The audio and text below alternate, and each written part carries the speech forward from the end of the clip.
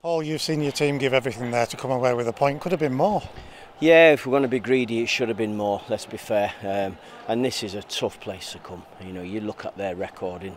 I think it's 18 games. They've won 16, drawn one, lost one. So this was going to be a real test. But I think we've absolutely worked our socks off. I think we've caused them problems. I think they've caused us some problems as well. I'm not going to kid myself, but we've had some fantastic chances. You know, we've had good bits of play and I just think if we'd have taken a little bit more care we probably could have got more than just one point out of it.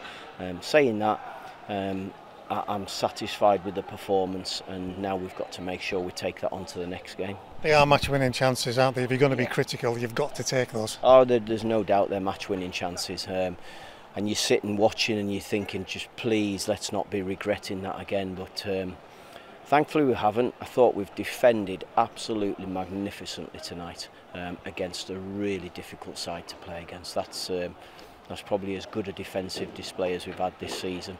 To come here, get a clean sheet and probably should have won it. Um, I'm, I'm pleased with everything that I've seen from them. It was one aggressive defensively in the right way, so they're mm. winning the headers, they're winning the first and second contacts. So important. Yeah, massively important. Um, I thought we could have had a little bit of help from the referee as well, but unfortunately we didn't.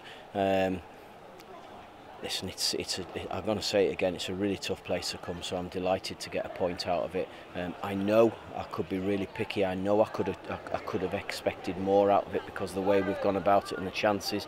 But I just I just think there's been some really really big performances from us tonight.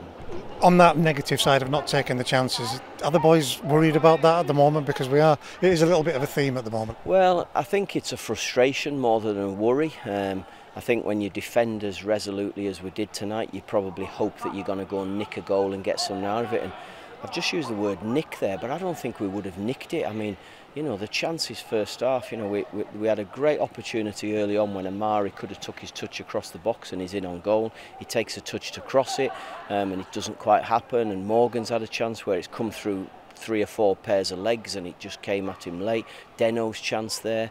Um, we've had some some really good football. Even I'll go in, in, in the one where Owen Moxon just asked to slide a ball through for Amari in the first half as well. Some really good opportunities. I thought I thought the shape that we set up with tonight was right um, and, and, and, and was effective and it caused them problems. Um, sadly, we've, we've only taken a point out of it. That was a tweak, Paul, to a 5-2-3. Important them front three, they have to do the defensive midfield work as well, and they did. Oh, they put a right shift in. I mean, that was the reason I took um, Jordan off, Jordan Gibson, because he was absolutely shattered. He was just starting to flag a little bit and not doing the recovery side of it as well. He was still getting into good areas, um, and I was just hoping that Sonny might be able to just come on and give us a little spark, hoping that Jack might just get one chance back in, in this Derbyshire area where he's, where he's comfortable. Just didn't happen for us. Um, but I think there's a lot of positives that we can take out of the way we've played. We spoke before kick-off about the need to start. They didn't just start, they kept it going through the 90 minutes. That's yeah.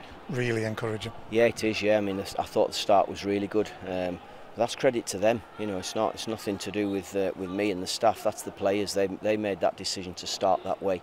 Um, we have to carry it on. We've got a really good home fixture to look forward to now on Saturday, and we have to make sure we're right for it. Um, and, and you know, if, if you can be picking up a point away from home, especially a tough one like this, and get get your three points at home, then that we can say that's a good week for us. You said things were okay so far with the season. Does that add to that? This okay, or does that just add another another level to well, it? Well, it gives us another point to say we're we're okay still. Um, I, I really think we should have got three tonight. Um, you know, I would have taken a point before the game, but but I would have the way we've gone about it, the chances we created, we should have got three points out of it tonight. Um, unfortunately, we haven't, so we still have to be thankful that it was a strong performance to get a point out of it. One more on other matters, Devon Edmo. Any news on those two boys? No, I haven't heard anything. Um, I mean, Edmo's still doing his his recovery. Um, Jamie Devitt's had the scan um, last night. He had the scan. I'm still waiting to hear back the results. Um, fingers crossed it's not too serious, but we're just going to have to wait and see. Well, thanks for your time.